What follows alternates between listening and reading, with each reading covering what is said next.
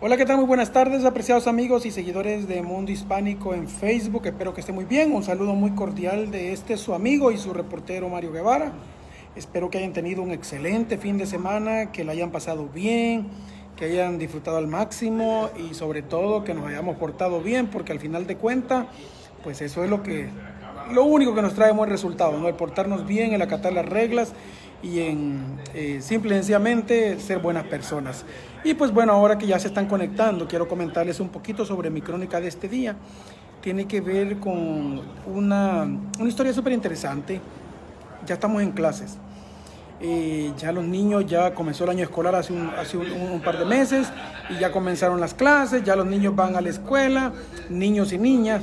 Y pues bueno, hay un peligro latente allá afuera que, que, muchas veces ignoramos, muchas veces nos confiamos, creemos que por estar en Estados Unidos todo es seguro, todo es color de rosa, que aquí las leyes son...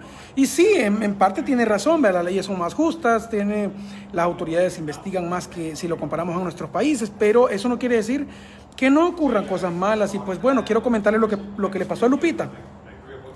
Lupita el viernes, ella tuvo ganas de tomarse un refresco y ella salió de, de su escuela, una high, una high school en la que ella estudia, ella tiene 14 años. Y pues Lupita salió de su escuela y se fue a, comprar a un McDonald's que estaba cerca de ahí. Eh, su idea pues era comprarse la bebida y su comidita y regresar, pero lo que sucedió fue que eh, como tenía tiempo suficiente, eh, después de caminar, ella decidió comérselo ahí. Entró a comer. No se percató que había un individuo que la estaba viendo. Había un sujeto que la estaba observando adentro del McDonald's. Y pues la chamaquita, la chica, la humilde muchacha, la, ingenua muchacha, mejor dicho, eh, no se percató de eso. Y cuando ella salió, el individuo se fue detrás de ella en su camioneta Ford, Explorer. Y, y, la alcanzó y le ofreció ride. Ella le ofreció un, él le ofreció un aventón a ella. Y ella inicialmente rechazó eso, le dijo que no, que no estaba dispuesta a irse con él. Pero el tipo insistió, le dijo vas a llegar tarde a clase, etc. Y al final ella aceptó eso. ¿Y qué fue lo que sucedió? Bueno, cuando ella aceptó el ride, se subió a la camioneta del tipo, el tipo se fue en sentido completamente opuesto a la escuela.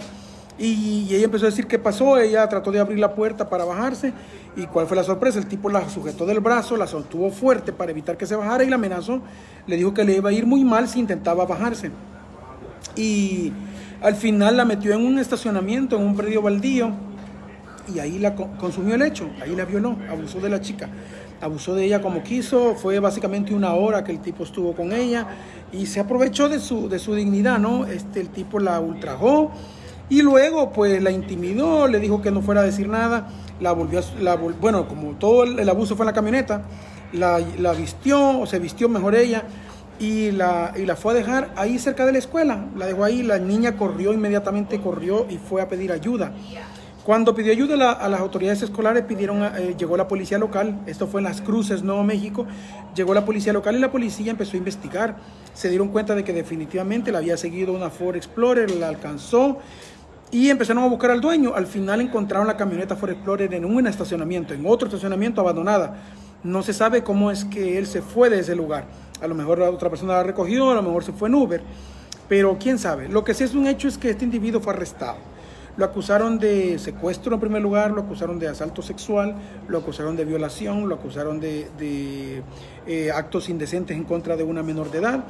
Y bueno, le espero un largo proceso legal, pero aproveché esta crónica, quise aprovechar esta crónica para recordarnos a todos que, que estamos en riesgo, riesgo latente de ser expuestos a, de que nuestros hijos sean, caigan en manos de pervertidos, gente depravada, gente que no le importa nada, gente que no toma en cuenta el dolor ajeno y pues que le hagan un daño a nuestros hijos. Y uno piensa que tal vez solo las hembritas, no, los varones corren el mismo peligro.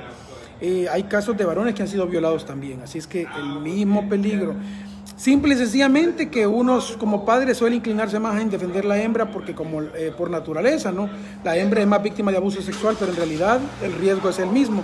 Y pues como estamos en clase, ya nuestros hijos están en, eh, en, escuela, decidí hacer este live para recordarnos de que hablemos con ellos. Es un buen momento para decirles que en primer lugar nunca deben de aceptar por nada en el mundo subirse en auto de un extraño y por, por, por, consiguiente lo mismo, tampoco hablar con extraños, porque al final de cuentas, cuando, o sea, ha habido personas que simplemente hasta las han desaparecido o las han matado por cometer este error, así es que bueno, Dios quiera de que no se repita eh, lo que le pasó a Lupita, pero mientras eso ocurre, eh, tenemos que nosotros mismos tomar las medidas pertinentes para cuidarnos, ¿verdad? Así es que gracias mi gente, cuídense mucho, gracias por haber estado conectados a este Facebook Live, compartan este video, aquí está el enlace con los pormenores, ahí está la cara del tipo este del susodicho que fue arrestado, ahí están los pormenores, la fotografía de la niña ahí. Eh, eh, pues básicamente que pasó este, este abuso.